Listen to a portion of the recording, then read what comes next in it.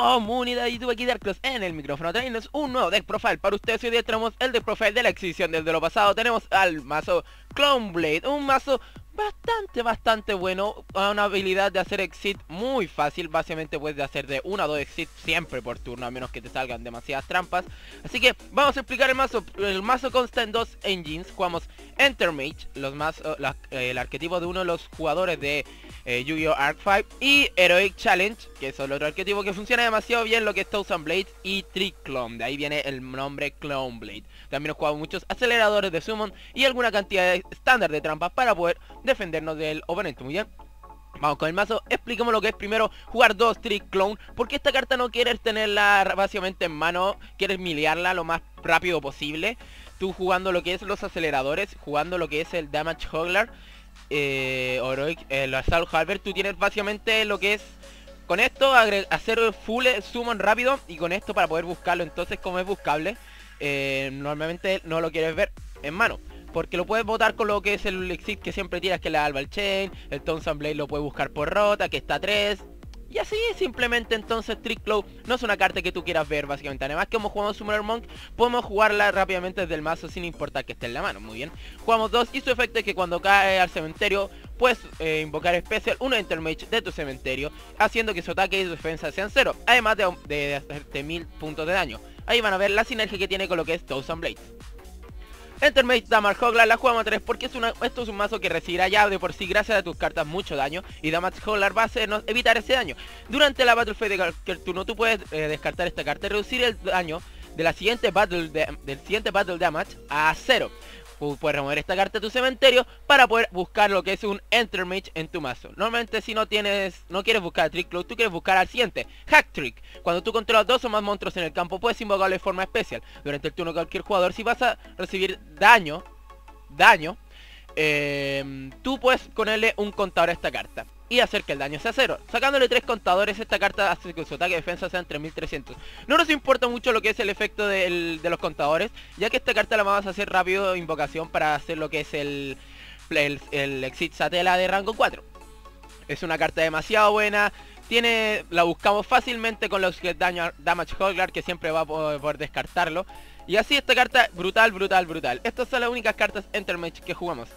Vamos a también jugar uno de los Heroic Challenger Thousand Blades Porque no queremos dos no queremos verlo en mano, no queremos no queremos que esté más en nuestra mano. Los oros, como el delfín y los Ritual queremos descartarlo rápidamente el mazo.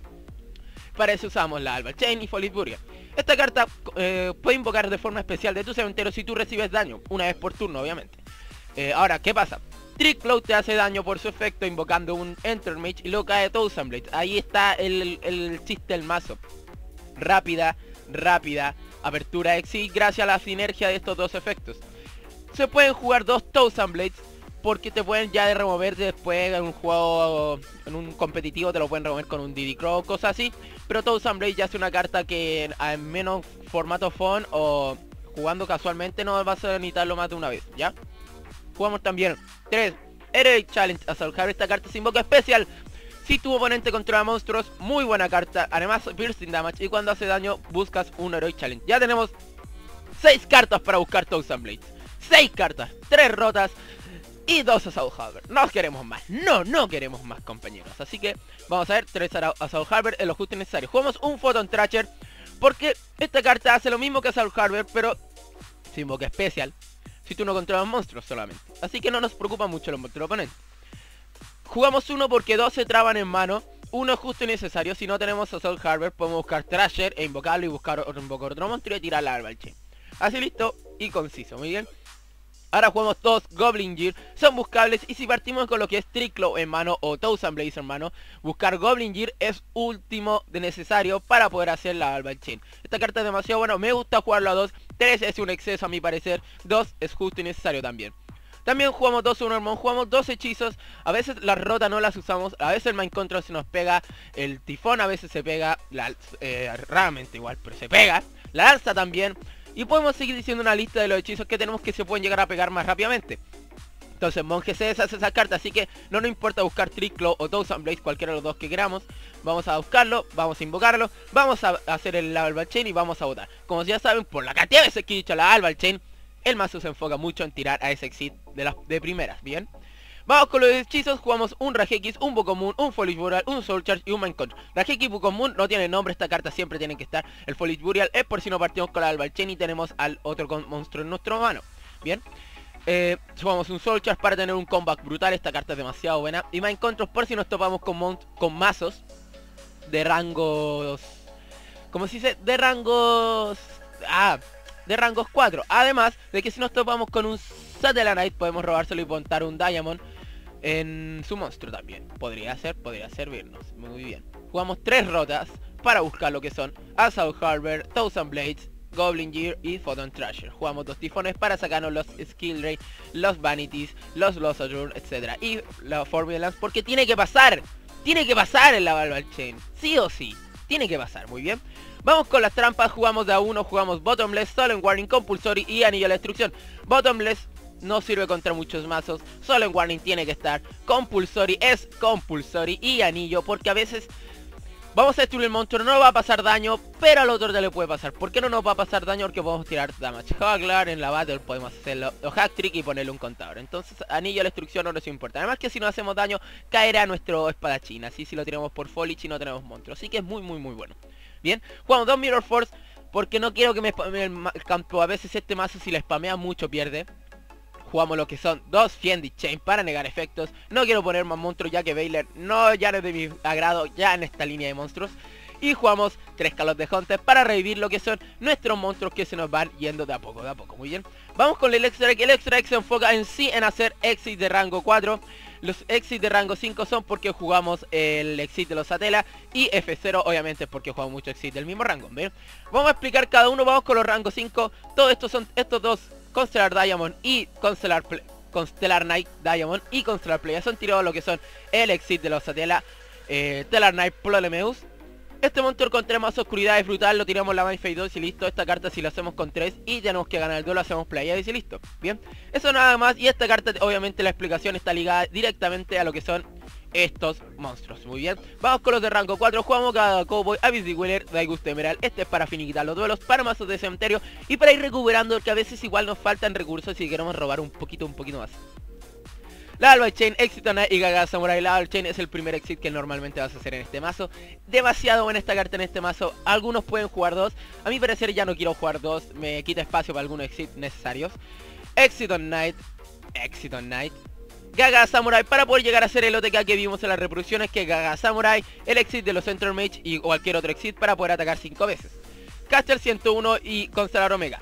Caster para levantar, 101 para robarnos algún monstruo y Omega porque los, los Enter son luz. Los Enter Mage que aquí están viendo son luz igual que el Trasher.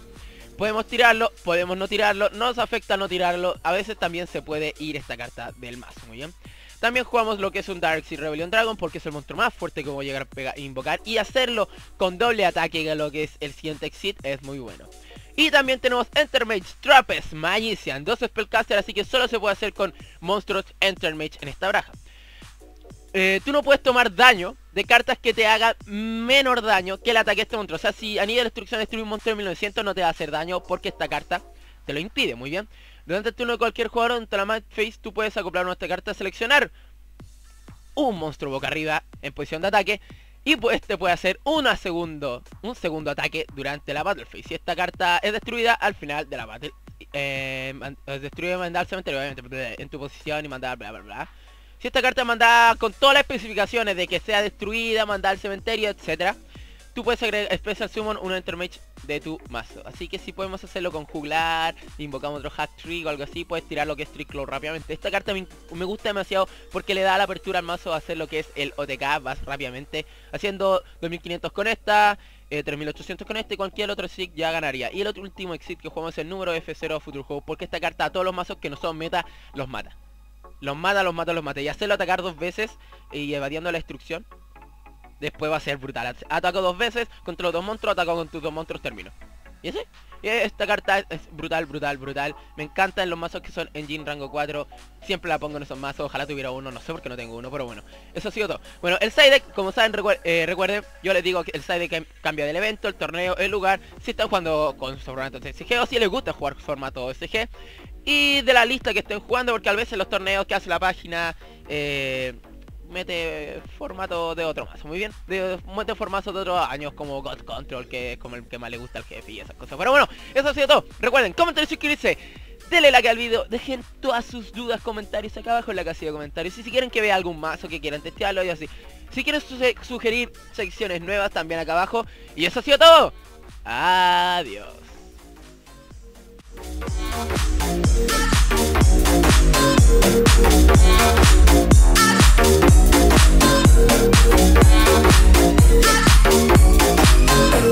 Thank